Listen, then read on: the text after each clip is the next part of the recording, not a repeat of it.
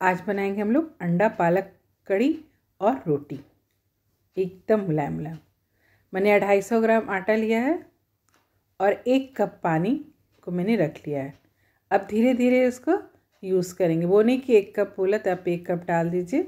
बस इस तरह थोड़ा थोड़ा डालते जाइए और मिलाते जाइए ताकि एक दूसरे के साथ आटा गुंज। जाए यही नहीं कि बहुत ज़्यादा आपको मेहनत नहीं करा इस तरह से आटा को सिर्फ़ मिला देना है और इसको ढक के आधा घंटा तक आप इसको रेस्ट करने दीजिए। देखिए, बहुत ही अच्छा रोटी बनेगा इसका। बहुत हार्ड भी नहीं गूँथना है इसको। इधर मैंने पालक, जिन, पालक लिया है, जिंजर गार्लिक टमाटर, हरा मिर्च और मैंने थोड़ा सा धनिया पत्ता लिया है। पालक एक के जी के करीब में है। अब हम लोग इसको टमाटर, पालक को अच्छे से धो लेंगे। कम से कम दो तीन पानी से वॉश कर लेंगे। अब मैंने पानी गर्म होने डाल दिया है। अब इसमें हम लोग पालक, टमाटर, हरी मिर्च को डाल करके उबाल लेंगे। इसमें थोड़ा सा मैंने धनिया पत्ता भी डाला है। देखिए, ये उबल गया है। अब इसको हम लोग एक बर्तन में निकाल लेंगे और उसे ठंडा होने देंगे। इधर मैंने एक प्याज को बारीक काट लिया है। देखिए ठंडा हो गया है। अब इसको मिक्सी में डाल करके चला लेंगे। एकदम बारीक इसका प्यूरी बनाएँगे। देखिए, बन गया है। अब सरसों तेल डालेंगे इसमें। मैंने अंडा को बॉयल करके छील लिए। अभी तीन अंडा का यूज़ करेंगे हम। अब इस तरह से अंडा को फ्राई कर लेंगे। कट करके अंडा को फ्राई कर लेंगे और इसको फ्राई करके निकाल लेंगे। हम अभी तीन ही अंडा को फ्राई कर रहे हैं क्योंकि अभी खाने के लिए रेडी नहीं है। और जैसे कि आप पालक का करी बना लीजिए, उसके बाद जैसे जैसे आपको ज़रूरत हो, अंडा आप डाल सकती हैं बहुत, ज़्यादा देर तक अंडा मतलब कि तल के नहीं रखना चाहिए आदमी को। अब तेज़पात अब इसमें मैंने पचफोरन, लाल मिर्च पाउडर तेज़पात और इसमें मैंने थोड़ा सा हींग डाला है।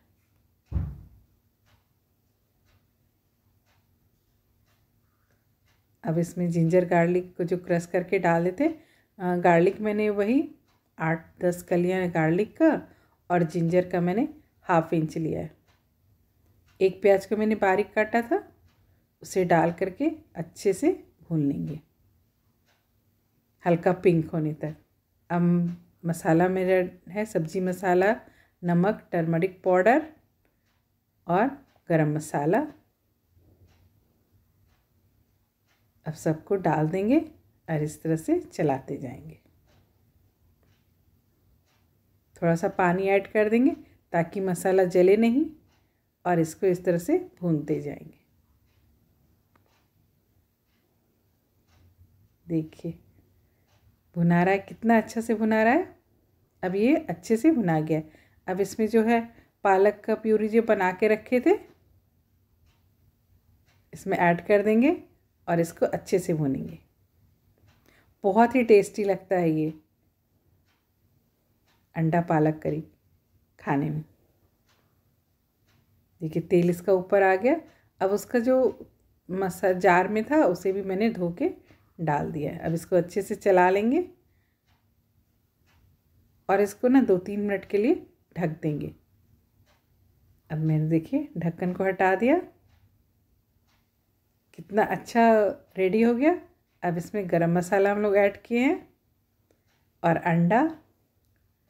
इस तरह से आप बना के रख लीजिएगा तो फिर मान लीजिए अंडा अपना देते जाइए और खाते जाइए या आप एक साथ अंडा डाल के भी रख सकती हैं।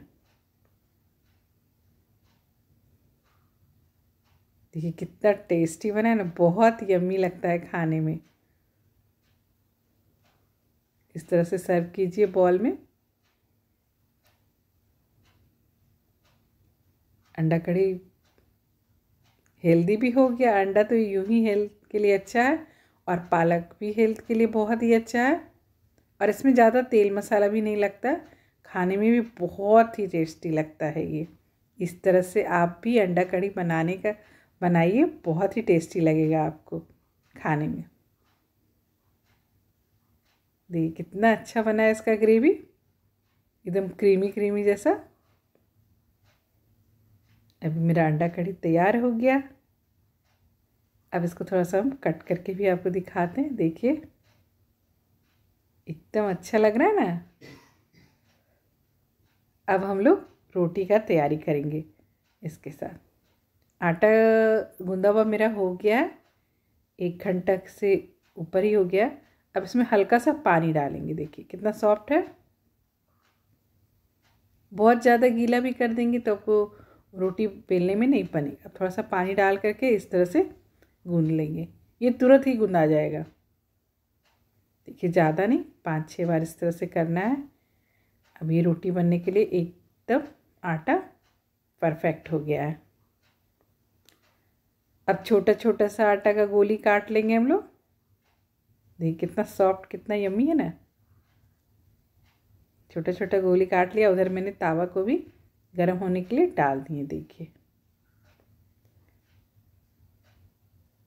और इस तरह से बेलते जाएँगे। रोटी गोल हो, ऐसा कोई बात नहीं है। रोटी आपका जैसे भी बिलाए, ठीक है?